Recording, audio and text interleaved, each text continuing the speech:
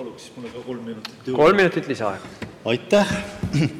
Lugupeetud peaminister, lugupeetud juhataja, lugupeetud kuulajad! See arupärimine on teatavasti immigratsioonisurve kohta ja ma kõigepealt peatuksingi sellel terminil. Ma väidan seda, et seda mõistet interpreteeritakse nii, nagu oleks tegemist mingi üleloomuliku jõu poolt äkki tekitatud probleemiga, ja ütlen, et see on ebaõige tõlgendus. Pole mitte mingit kahtlust, et alati on inimesed madalama elatustasemega või ka ebastabiilsetest piirkondadest soovinud mujale liikuda, aga alati ei ole lihtsalt saanud ja see niinimetatud immigratsioonisurve on tegelikult pidev seisund, see on alati olnud. Tegelikult on küsimus selles, kas püütakse neid abi vajavaid inimesi aidata kohapeal nende kodumaal või kodumaale lähemal või õhutatakse inimesi kaugemale rändama.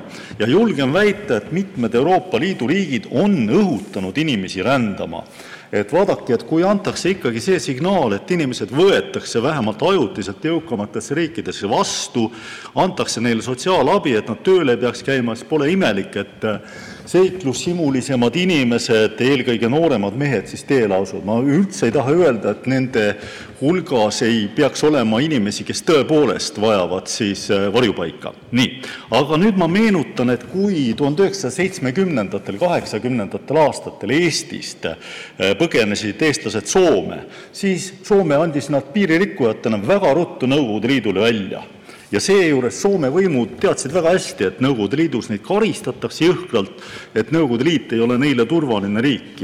Tegelikult ma ei süüdista üldse Soomet selles, et Soome käitus lihtsalt seetõttu, et kardeti Nõukogude Liitu. Ma tõin selle näite selleks, et selgitada ja näidata, kuidas on poliitika erinev pärast seda, eks ole, eestlased teadsid, et ei ole mõtet nagu Soome põgeneda, eks ole, mõtet on siis Rootsi katsuda põgeneda, need inimesed, kes tõesti kartsid tagakiusamist.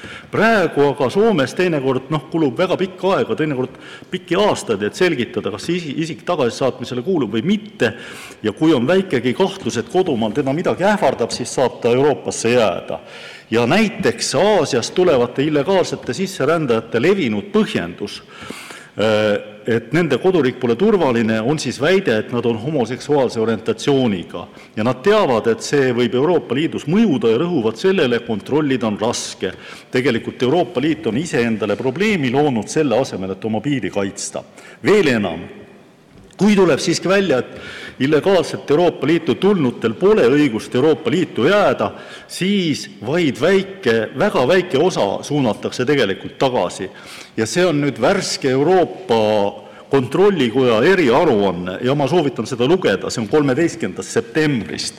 Ja selle kohaselt on niimoodi, et alates 2008. aastast on umbes poolele miljonile välismaalasele aastas antud korraldus Euroopa Liidust lahkuda, aga tegelikult ainult üks kolmandik on neist lahkunud. Üks kolmandik! Ja väljaspool Euroopat asuva koduriigi puhul on see number 19%. 19, iga viies.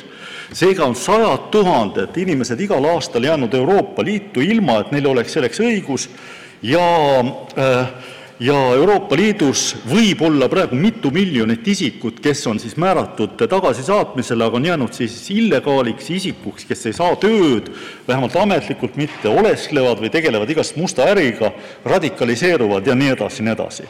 Loomulikult õhutab selline poliitika igasuguseid inimesi üha enam ja enam Euroopasse tulema, ja kui Euroopa riigid oma välispiire ei kaitse, siis siia nad jõuavad ja ka jäävad. Nii, aga nüüd ma tulen siis Eesti juurde. Äh, nagu enne ütlesin, me räägime ähvardusest, aga saage aru, et meil toimub ilma illegaalse immigratsioonitagi massiline sisseränne 1980. aastate tasemel, erinevalt Lätist või Leedust. Eestisse elamisloa saamise peamiseks põhjuseks on tööle tulek, õppima asumine ja pereränne. Ja viimane, see pereränne, on loogiline, sellepärast et Eestisse elama asunute juurde tulevad järgmisena pereliikmed keskmiselt iga kolme õppima või tööle tulnu juurde tuleb veel kaks pereliiget. Hiljem hakkab tõenäoliselt rohkem tulema. Eesti välistudengeist eesti keeles õppis alla 5% ja õppemaksu maksis neist vaid osa ja vähemalt avalikes õiguslikes ülikoolides ei kata tegelikult õppetasu üldse õppekulusid. Niimoodi maksab siis Eesti maksumaksja peale ka neile välistudengile, kes ülikoolile õppetasu maksavad. Ja lisaks maksab Eesti maksumaksja ligikaudu kolmandikule välistudengeist ka siis vajaduspõhist õppetoetust. Nii, töötamiseks antakse viimastel aastatel üle 2000 elamisloa aastas ja lisaks oli meil augusti seisuga siis 19 000 kehtivat lühiajalise töötaja registreeringut, Äh, kelle puhul see ajutine töötamine on hüppelauaks alaliselt Eestisse jäämisele. Toonitan, see on hüppelauaks. Nii, töötukassa andmetel on meil augustis ka 46 000 töötut ja pole õige, nagu valitseks meil tööjõupuudus just lihttööaladel. Võib vaadata neid äh, töötute profiile, kõik võivad seda vaadata ja veenduda, et ei ole nii. Ja uuesti meenutan, et meie tööjõu tootlikkus on vaid 74% Euroopa Liidu keskmisest. Ja kui me jätkame selle odava tööjõu sissetoomist, mis surub meie palgad alla, siis meie majandus keskendub ikkagi odava tööjõu kasutatava, kasutavatesse sektoritesse ja uuendused pidurduvad. Edasi, lõpuks küsime seda, kas idaslaavi, Aafrika ja Aasia maadest pärit sisseränne aitab meil vältida rahvastiku vananemisega seotud sotsiaalseid probleeme.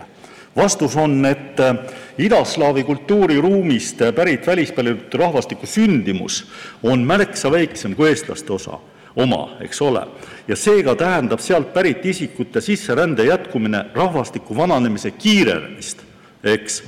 see tähendab veel suuremaid probleeme meie lastele Aasia ja Aafrika riikidest pärit isikute kiiresti kasvav sisseränne võib rahvastiku vananemist pidurdada, aga tulevikus tähendab sedasama, mis siis Soomes-Rootsis praegu, et ühe elanikkonna osa väga kõrget tööprotsessis mitteosalemise määra, seega ka kokkuvõttes pigem probleemide teravnemist.